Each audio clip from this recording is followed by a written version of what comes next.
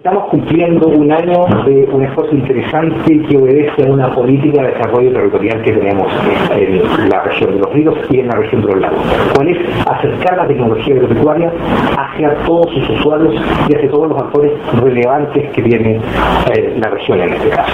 Lo comentábamos de el, eh, el, acercamiento que con los pueblos originarios y de la forma que han tomado también esta iniciativa de la agroecología en los campos eh, que son un poco más apartados de lo normal. Sí, sin duda eso, el concepto que hemos acuñado, no acuñado en realidad, el concepto que está dentro de, los lineamientos que tiene la presidenta Michelle Bachelet, es la inclusión.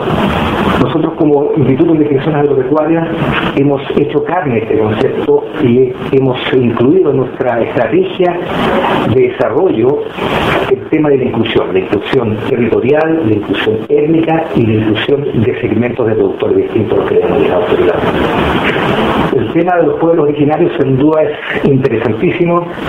Yo me voy a permitir saludar a todos los eh, audio y, y, los que nos, nos ven.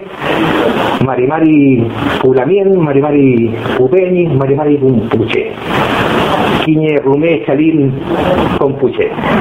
Les saludé a todas las hermanas, a todos los hermanos y hago un gran saludo a todos ustedes.